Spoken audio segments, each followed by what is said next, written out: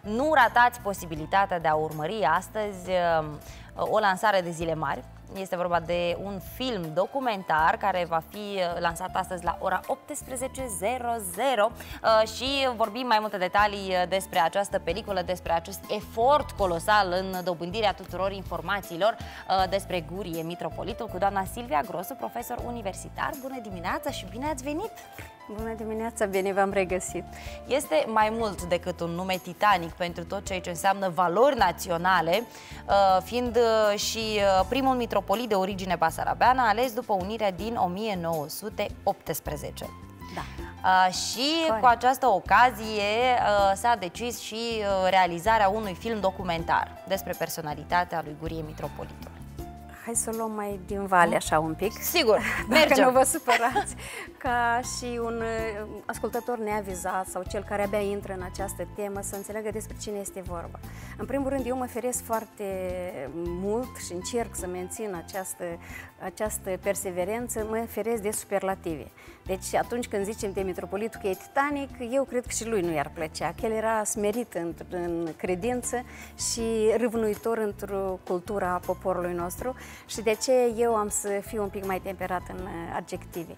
Dar ceea ce este adevărat că e primul metropolit, că e cel care a făcut atât de mult pentru dăinuirea noastră și atât de mult pentru revirimentul nostru național, încât conul din umbră în care a intrat pe multă vreme din cauza vicisitudinilor timpului, mai ales a motivelor ideologice, politice, este nedrept. Iată aici avem o platformă comună. Este nedrept și de prin 86, la primele mele cercetări ale presei periodice, în limba română din Basarabia, cercetări făcute la bibliotecile de la Moscova. Noi nu avem colecție aici pe loc. Așa. Și cu multe, știți, trepte pe care le treci ca să ți se permită accesul la aceste publicații, eu am descoperit această figură a metropolitului. Se pune întrebare de ce eu atunci am descoperit-o. Și eu vin cu răspunsul, deși este ruda soțului meu, deci e frate de bunel pentru soțul meu, Igor Grosu, asta Așa noi n-am știut-o foarte mult timp. Eram căsătoriți, se născuseră copiii, prim, se născuse fetița, primul copil. Abia atunci am aflat că fratele preotului, deci bunelului, care e preot în satul Codreanca și a fost preot în satul Codreanca și este înmormântat în curtea bisericii, este de fapt metropolitul Gurii. Părinții l-au protejat. În film se regăsesc aceste secvențe surprinzătoare, uh, paralelă între ceea ce se întâmplă ce ni se întâmplă nou în Basarabia sub regim sovietic și ceea ce li se întâmplă rudilor, deci soțului meu, din România în perioada ceoșistă. Ei tot n-au vorbit de gurii. Niciunul din ei n-a povestit copiilor. Niciunul din ei n-a, n-a bravat vreodată sau să zică, uite, eu, nu. Fiindcă era atât de mare pedeapsa și, și tatăl lui Igor Valeriu Gros, care a făcut 8 ani din cei 10 pe care, care trebuia să-i facă în Siberia, n-a vrut ca și copiii lui să treacă prin acest calvar. De ce a tăcut? Acum vă dați seama că noi înșine greu am ajuns la gurii, dar dacă ea era atâta, atâta înstrăinare de valorile noastre, de personalitățile noastre, ceilalți cum să-și facă o cale. Și de aceea noi am fost nevoiți să procedem încet, încet, în primul rând să adunăm uh, studiile și articole evocatoare. Despre cine a scris despre gurii, unde s-a publicat despre gurii și am descoperit uh, după 89 în România și la noi deja tot în, în această perioadă de reviriment, de proces de reviriment complicat, dar oricum e un reviriment național în, în, în Republica Moldova și am descoperit mai multe articole și mai multe cercetări adiacente vis-a-vis -vis de, de personalitatea lui Guri. Și atât am uh, publicat prima carte publicat Așa. o carte cu articole de evocări în acest pliant. Noi am, am arătat-o. Așa, eu deci, o să deci- rog uh, colegii. Cea violetă cu copertă violetă a fost primul volum dintr-o preconizată trilogie. Așa. Noi când am anunțat-o în 2007, la 130 de ani de la nașterea Metropolitului Gurii, nu eram sigur că o să ajungem la cea de-a treia. Dar da, știam da, a reușit că... acest lucru. Mulțumim foarte mult. Totul s-a făcut cu îngăduință Domnului și am avut această bucurie în 2018 să edităm și volumul 3. Și în volumul 2 și în volumul 3, că în volumul 1 am zis că am început cu evocare publicare, așa, am făcut un așa. simpozion, am publicat materiale simpozionului, cei ce mai era publicat. În volumul 2 și 3, treptat, treptat am descoperit că e nevoie ca opera Metropolitului să fie cunoscută, că noi îl evocăm, dar declarăm. Hai să vadă lumea ce a făcut Metropolit concret. Uite, și am publicat în volumul 2 uh, primele, primele opere ale lui, preluate, adică cele care au fost publicate în 17, în 18, în 20 și nu se mai găseau nicăieri. Și le-am reeditat.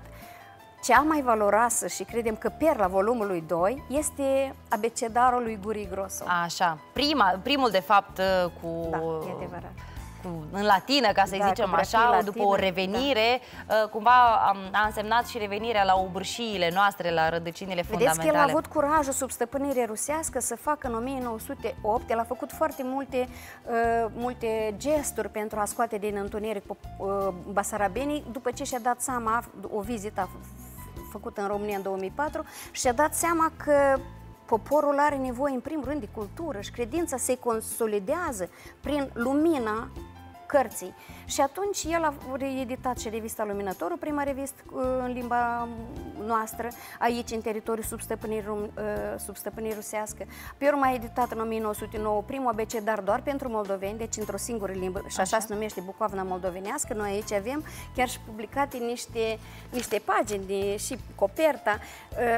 Uh, și de ce am uh, vorbit de Bucoavna și carte de citire publicată pe urmă în, 1900, în 1910? El în fiecare an publica ceva, un studiu istoric, o carte didactică și iată în aceste cărți el și-a consolidat un, o experiență de, de, o experiență didactică valoroasă și la revenirea lui din primul exil, pentru că s-a considerat separatist și l-au îndepărtat din Basarabe. de un dosar uh, A avut parte interior. de două dosare. A, Unul pe timpul stăpânirii rusești și altul pe timpul administrației românești. Deci el a suportat două exiluri. Dacă primul a fost ușor de suportat că știa că e o cauză nobilă și știa că e un regim autoritar și nu puteai să te împotrivești prea mult lui și l-a suportat mai ușor că era și tânăr și venea din partea străinilor.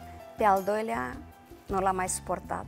N-a putut. Partea pe al doilea l-a descumpenit că venea din partea lor săi și era totalmente nedrept. Și atât despre asta, el scrie într-o carte uh, Procesul și apărare mat, publicat în uh, București, în 500 de exemplare doar, în 1937. El scrie o pledoarie o, o, și un rechizitoriu pentru cei care l-au, l-au ostracizat și l-au detractat.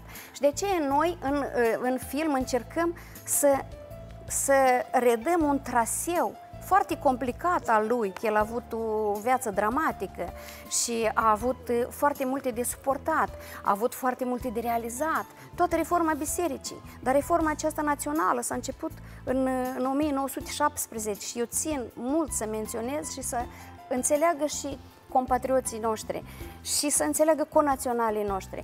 Noi am făcut reforma în 1917 cu abecedarul lui Gurii Grosu, și cu profesori care aveau școală rusească, că nu era nicio școală să pregătească institutul român, dar doar cu cursurile făcute la Chișinău. 500 de profesori la Chișinău, 300 la Tiraspol, 200 la Soroca. Și iată, în felul ăsta noi am început reforma. Noi vorbim în film despre abecedarul lui Gurii rolului și găsim o persoană care își amintește cum a învățat din abecedar, fiindcă toți strâm, ă, bunieii noștri au învățat de pe acest abecedar. El a avut 8 ediții, abecedarul și carte de citire.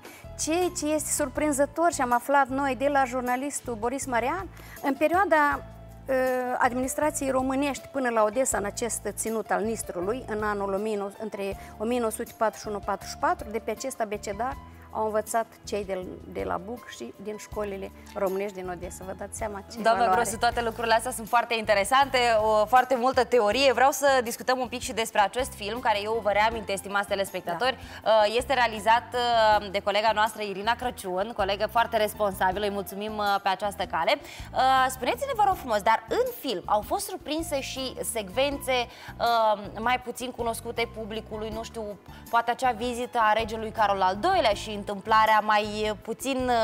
Nu ne-am uh, fixat pe asta, știți? Bine, îmi dau seama că nu v-ați da, fixat. Eu am, vă întreb da, dacă sunt da, detalii... A găsit Irina, o, a găsit Irina uh, așa o, o metodă și, și o modalitate de a reda această drama a lui, tocmai prin ceea ce povestesc alții. Când vă dați seama să faci un film, faci un film documentar în lipsa protagonistului principal. E și iese că protagonist este deja strănipotul lui, Igor Grosu, care merge pe numele lui și vrea să-l redescopere și să afle ce s-a întâmplat, că nu l-a cunoscut atâta timp. Și uh, avem, am avut noroc de această muncă de voluntariat a Irinei Crăciun, în calitate de scenarist, regizor și la montaj de asemenea.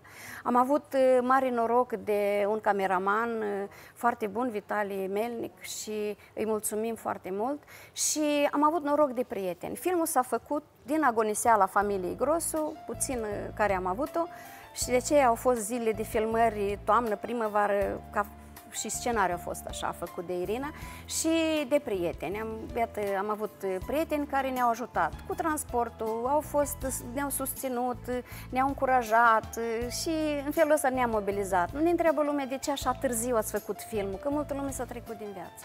Pentru o cauză nobilă întotdeauna lumea trebuie să se mobilizeze și să facă astfel de lucruri. Eu uh, vă mulțumesc tare mult pentru prezență, în primul rând, uh, pentru efortul depus în realizarea și a ne cărților și a acestui film. Eu vă reamintesc, filmul uh, va fi lansat astăzi la ora 18.00, așa că nu ezitați să mergeți și să cunoașteți o personalitate mm, mai mult decât de importantă, așa, de tezaur.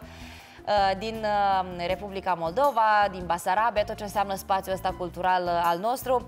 Vă mai așteptăm cu mare drag și cine știe, poate veniți și cu feedback-urile celor care vor urmări cu acest bucurie, film. Cu bucurie să vedem ce reușim astăzi să facem. Invităm toată lumea, intrarea este liberă. Cu siguranță Postul Național de Televiziune va avea grijă să vă ofere detalii despre acest film. Cine știe, poate dacă sunteți cu mință să-l și vedeți aici la Moldova 1.